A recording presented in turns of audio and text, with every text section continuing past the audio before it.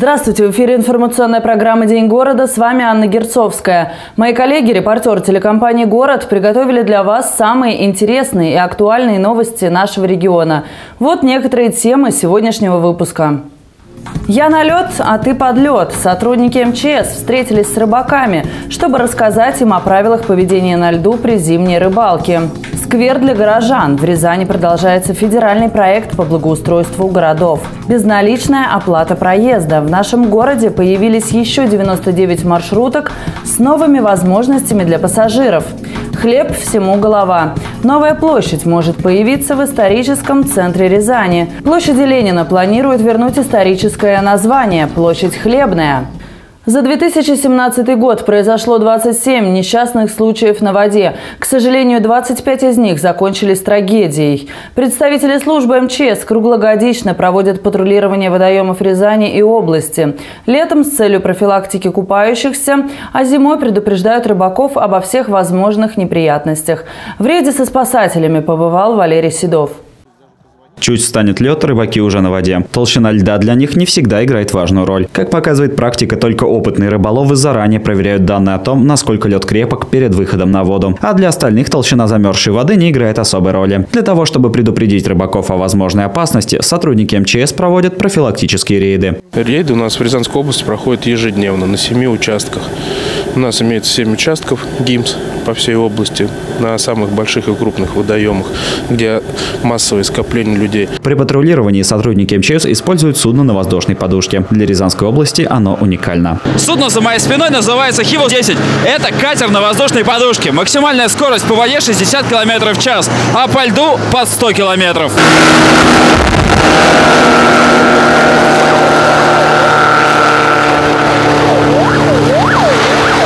И вот первая остановка. К рыбакам, которые отважились выйти на лед, направляются сотрудники МЧС. Они проводят беседу, а в конце вручают гражданам листовку, на которой написаны основные правила поведения на льду. Как правило, рыбакам все это уже известно, но повторение – мать учения. Сотрудники МЧС рассказали, что чаще всего они акцентируются именно на том, что делать, если человек провалился под лед. Инструкция в первую очередь – это не поддаваться панике и попытаться выбраться на лед. То есть желательно при себе иметь средства самоспасения, так называемые, гвозди или отвертки заточенные, чтобы человек мог воткнуть их в лед и подтянуться, выйти, выйти на лед.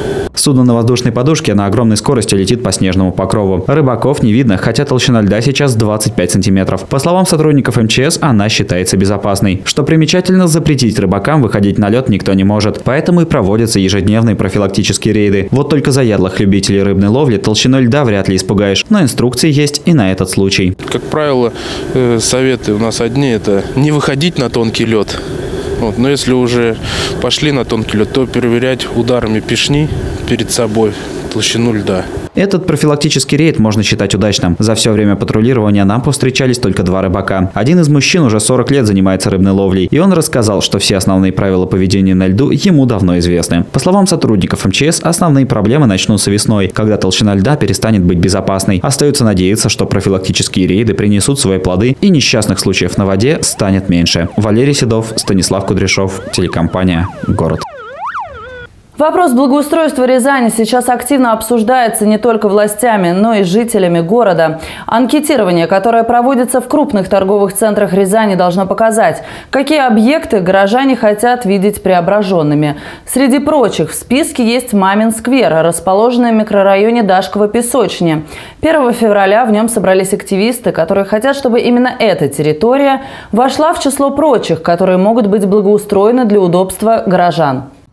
Здесь хотели построить дом, а затем оборудовать парковку. Но жители отвоевали зеленую зону под названием Мамин сквер. Летом здесь красивая аллея, а зимой место для прогулки. Теперь у горожан появилась возможность улучшить зеленую зону, не прилагая практически никаких усилий. Совсем недавно в России стартовал федеральный проект по благоустройству городов, который проходит в три этапа. В первом жителям регионов предстоит выбрать те территории, которые они хотели бы видеть благоустроенными. В Рязани насчитывается более 50 таких мест. В каждом крупном торговом центре, например, Дашка в песочне – это Европы, в обоих Европах Гизельгросс, проходит анкетирование. То есть житель, проходя мимо, если видит э, такой большой плакат благоустройства городской среды, комфортная среда, надо к нему обязательно подойти и отдать свой голос. По словам Светланы, никакие данные при анкетировании указываться не будут. Достаточно простой галочки. Первый этап закончится 9 февраля. По результатам анкетирования выберут по три территории в каждом микрорайоне. То есть во втором этапе определятся 12 наиболее популярных зеленых зон. Третий этап пройдет 18 марта. Там определятся четыре территории. И вот из этих четырех мы опять выберем одну единственную. То есть четыре территории от города нам благоустроят. И будет у нас просто красота. Всем же хочется пройти по красивой территории. Нам дают шанс. Жители микрорайона Дашкова песочня агитируют всех соседей проголосовать за Мамин сквер. Это удобная зеленая зона недалеко от школы и детского сада. Хочется чистоты, тепла, уюта, чтобы здесь гуляли дети, большое количество желательно, чтобы был социум, чтобы детям было общаться с кем. Я люблю, когда все красиво, что не просто там набросали туда цветочков, туда цветочков, а чтобы все было красиво. Мы хотели бы тут видеть тренажерный зал, чтобы можно летом было позаниматься, прийти в форму. Светлана Акимушкина говорит, что сейчас настало то самое время, когда стоит проявить свою гражданскую позицию и отдать свой голос за одну из зеленых зон города. Ведь если есть возможность сделать Рязань лучше, то почему ею не воспользоваться? Валерий Седов, Юлия Пятницкого, телекомпания «Город». Уже давно горожане, пользующиеся картой «Умка» для проезда в городском транспорте, жаловались на то, что далеко не во всех коммерческих маршрутных такси есть возможность их использовать. Естественно, это вызвало серьезные неудобства и, как следствие, недовольство граждан. Однако с февраля ситуация должна значительно измениться. Теперь возможность оплатить проезд безналичным способом появится еще в 99 маршрутках, курсирующих по трем городским маршрутам. В рамках реализации проекта внедрения автоматизированной системы оплаты проезда с 1 февраля еще один коммерческий перевозчик поэтапно подключает автопарк своего предприятия в количестве 99 бортов к системе приема безналичных платежей. Речь идет о коммерческом автотранспорте, работающем на маршрутах номер 75, 34 и 53 и обслуживающих пассажиров из Семчина и Недостоева. Помимо удобства и комфорта самих пассажиров, к числу преимуществ автоматизированной системы оплаты оплаты сами перевозчики относят тот факт, что водителю не нужно отвлекаться, принимая деньги, считая их и выдавая сдачу. Наше решение было осознанно. Мы готовились к этому с осени прошлого года. Мы посмотрели, что действительно горожанам это будет удобно, это будет для них комфортно. И поэтому это наше осознанное решение. В частности, с первых чисел февраля пассажиры смогут оплатить проезд безналичным способом в 32 единицах коммерческого автотранспорта, работающего на маршруте 75. С 15 февраля такая возможность появится в маршрутках, следующих по маршруту 34. С 25 февраля к системе ОСОП подключится еще 48 бортов, перевозящих пассажиров по маршруту 53. В результате мы получим с 1 марта 50% муниципального коммерческого транспорта будут оборудованы терминалами для безналичного проезда. То есть горожане смогут воспользоваться этой услугой. На маршрутах 75 и 34 также работают машины других коммерческих перевозчиков, на которых не созданы условия для приема безналичных платежей. Так что горожанам следует быть внимательнее, обращать внимание на наличие или отсутствие на маршрутках соответствующих наклеек. Оборудование пассажирского транспорта системами безналичной оплаты будет развиваться в нашем городе и дальше. Развитие системы поддержано и на федеральном уровне. Э, по поручению президента внесены поправки, соответствующие в федеральный закон 220, а, которые говорят о том, что необходимо а, применение безналичной системы оплаты проезда на борту каждого транспортного средства, выходящего в рейс ежедневно. Внедрение соответствующего оборудования также позволит расширить возможности оплаты проезда и для льготных категорий рязанцев на транспортных средствах с фирменными наклейками проекта «Умка». Ирина Ковалева, телекомпания «Город». В преддверии 75-летия победы советских войск в Сталинградской битве в библиотеке имени Горького прошла патриотическая акция «Ты выстоял, Великий Сталинград». Гостями на этом мероприятии стали школьники Рязани, курсанты, ветераны Великой Отечественной войны. О событии расскажет Ирина Ковалева, которая побывала в библиотеке имени Горького.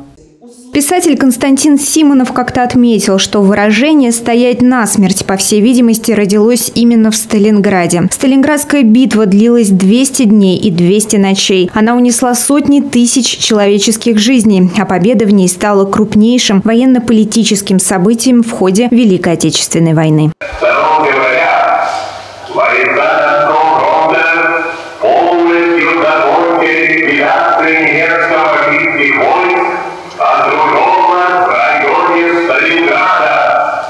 Преддверии 75-летия разгрома советскими солдатами немецко-фашистских войск под Сталинградом в библиотеке имени Горького прошла патриотическая акция «Ты выстоял, Великий Сталинград». А библиотека имени Горького э, использует каждый факт нашей великой истории, каждую героическую дату э, в календаре Великой Победы для того, чтобы передать наследникам победителей память о Великой Победе. Э, мы проводим эти акции главным образом с этой целью, чтобы сформировать у молодежи, у подростков, у э, сегодняшнего молодого поколения ответственность э, за эту победу.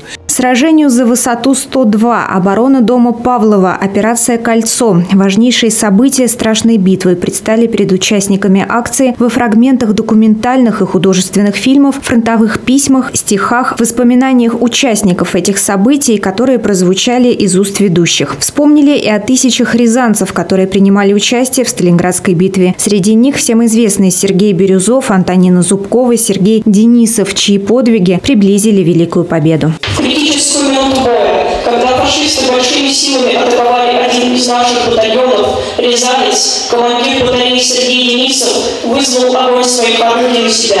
Среди участников акции курсанты, кадеты, школьники, участники движения юнармии. О Сталинградской битве они знают из учебников истории, но о многих фактах ребята даже не подозревали. Город ведь простоял всю войну, простоял. И, и это не сдался. Да, и не сдался. А вот участники Великой Отечественной войны, фронтовики, знают о страшных событиях тех лет не понаслышке. Татьяна Лемешева попала на второй Прибалтийский фронт 16-летней девушкой. Она спасла жизни ни одного десятка танкистов, вернув танки, которые шли к немцам. В Сталинградской битве она участие не принимала, но в том числе и через ее фронт проходили войска, двигаясь на помощь защитникам Сталинграда. Мы стоим на посту, стоишь на перекрестке, да? Так вот, туда тянулись все войска прежде чем это наступление надо было окружить. Так все проходили через меня. Под, вот Виллис подъезжает, выскакивает офицер ко мне, танки пойдут вот сюда. А Катюша при, выскакивает, а это вот туда. Мы направляли, мы что-то действовали. А сколько тысяч проходило мимо? Все уставшие. Ведь раньше не было никаких поездов. И машин не хватало. Разве можно столько перевести? Тысячи шли к Сталинграду. Участники Великой Отечественной войны помнят о тех страшных событиях, а вот молодежи и подрастающему поколению просто необходимо как можно чаще рассказывать о великих сражениях, о Великой Победе, чтобы знали и помнили. Ирина Ковалева, Станислав Кудряшов, телекомпания «Город». Споры вокруг площади Ленина не утихают, причем касаются они не только ее реконструкции. Так, например, краевед Игорь Канаев внес предложение вернуть площади ее историческое название. Хлебная площадь. Именно так называлась площадь Ленина сто лет назад. Причина такого названия уходит глубоко в историю нашего города. Когда-то здесь располагалось шесть хлебных торговых рядов, а до этого именно на нынешней площади Ленина располагалось Всполье. Возможно, основой послужило Всполье, край ржаного поля. Да, это место Вспольем называлось, это топоним такой был, да, средневековый. Потом, когда э, задумывалась постройка площади и думали над названием, сыграла роль, что Рязань э, была была центром хлебной торговли. Это уже э, хлебные торговые ряды. Они и появились здесь, шесть. И поначалу так оно и было на протяжении десятилетий. Это было главное место э, транзитной и привозной хлебной торговли.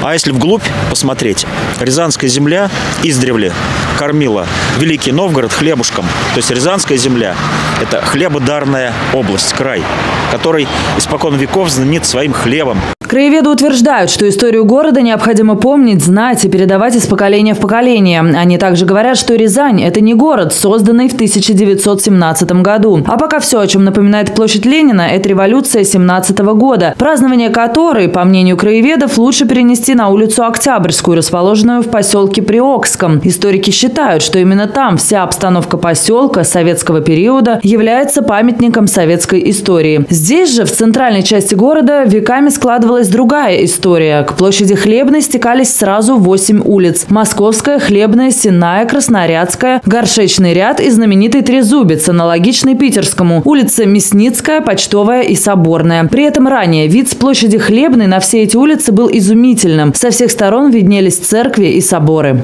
То есть здесь э, сложился на протяжении считайте, трех веков уникальный историко-архитектурный, топонимический, даже археологический ансамбль.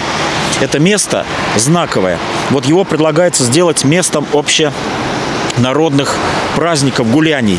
То есть здесь, кроме того, что здесь пока возлагаются цветы 7 ноября сюда, здесь должны быть праздники нашего города тысячелетнего, а именно на Хлебной площади уместно проводить тысячелетний юбилей нашего города. Это День Петра и Февронии, тоже здесь намерен э, проводить, да, День семьи и верности. Это праздник православный. К Хлебной площади он ну, стыкуется идеально. Праздновать Масленицу здесь было решено уже в этом году. Кроме того, как сообщается на сайте городской администрации, площадь уже хотят сделать главной площадью нашего города. В связи с этим грядет масштабная реконструкция, с которой однозначно согласны и историки. Однако они все-таки настаивают и на переименовании площади. Сейчас глава региона уже рассматривает вариант двойного названия этого места – Ленина-Хлебная. И, возможно, это уже первый шаг к переименованию. Ведь ранее историкам уже удалось добиться возвращения исторических исторических названий таким улицам, как Почтовая, Соборная, Скоморошинская, Астраханская. При этом ранее Соборная улица носила название улица Революции. Но когда Рязанский театр юного зрителя был назван театром на Соборной, в обиход горожан новое название вошло очень быстро. Что и говорить о том, как теперь полюбилась всем улица Почтовая, где проходят творческие вечера, ярмарки и другие мероприятия. Хотя еще недавно все знали эту улицу как улицу Подбельского. Так вот и сейчас историки считают, что название «Площадь хлеба» хлебная также быстро может войти в обиход. Достаточно переименовать торговые ряды, повесив на них баннеры с их историческим названием «Хлебные торговые ряды». К слову, уже сейчас в одном из этих зданий открылось заведение со схожим названием. Быть может, это еще один шаг на пути к смене названия площади. Напоследок хотелось бы добавить, что общая территория географического центра нашего города составляет всего один квадратный километр. И расположен этот центр именно здесь, на этой площади. Многие хотят сохранить исторический вид этого этого места, а также сделать его главной праздничной площадью для рязанцев, чтобы здесь, в красивой и приятной обстановке, они могли наслаждаться культурой нашего города. Анна Герцовская, Станислав Кудряшов, телекомпания «Город». Туристический потенциал Рязани набирает обороты. Уже открыт музей истории леденца, музей пряников, интерактивный музей сказок. А теперь появился и бар-музей вин и напитков под названием «Секера». Сейчас он вошел в число 80 номинантов на премию «Пальмовая ветвь ресторанного бизнеса». Это престижная международная награда, присуждаемая лучшей ресторанной концепции года. Чем уникален Рязанский бар-музей, выяснила Галина Ершова. Взвар, сыта и сбитень – это не набор слов, а традиционные русские напитки. Узнать их состав и даже попробовать можно в баре музея Секера. Гостей заведения удивляют рецептами, по которым готовили рязанские мастера несколько столетий назад. Если вы привыкли покупать квас в магазине, то будете сильно удивлены, ведь традиционный русский напиток имеет белый цвет. Коричневым он бывает, только если настаивается на ржаных корочках. Но специалисты говорят, что это уже совсем не то. При изготовлении кваса в него добавляли несколько грамм изюма. На вкус напитка это не влияло, зато помогало ускорить процесс брожения. Стоит отметить, что квас делали не только из хлеба, но и грибов, различных ягод. Другим традиционным напитком был сбитень. Это русский аналог глинтвейна. А сбитень – это горячий, такой даже больше зимний напиток. Варится именно медовый раствор, и в него там добавляются, там, допустим, гвоздика, допустим, анис, какой-нибудь бадьян. А, можно различные тоже, там можно лимон добавить. Все это потом настаивается, и через какое-то время уже можно попробовать дегустировать. Благодаря гастрономическим изыскам рязанский ресторан вошел в число 80 номинантов на премию «Пальмовая ветвь». Престижную награду вручает Европейская ассоциация The Leaders Club International. За статуэтку борются лучшие ресторанные концепции из семи стран. Среди них Бельгия, Швейцария, Германия и другие. Однако оценить Рязанский бар-музей успели не только судьи конкурса, но и гости региона. Даже бывают иностранцы, то есть это Румыния, Франция. Также непосредственно рязанцы и туристы из различных городов. Это Питер, Москва. Люди просто, когда заходят сюда, они сначала не понимают, куда они попали. У них такой восторг, удивление. Яркая концепция помогает привлечь туристов в регион, ведь на напитки можно не только посмотреть, но и продегустировать их во время интерактивной экскурсии. Это позволяет расширить кругозор и найти новые причины гордиться российским производством и традициями. Поддержать участника из Рязани, отдать за него свой голос можно на сайте рестораноман.ру. Галина Ершова, Роман Вихров, телекомпания «Город» вообще мед. Это все новости на данный момент. Следите за событиями на нашем официальном сайте город62.тв. До встречи!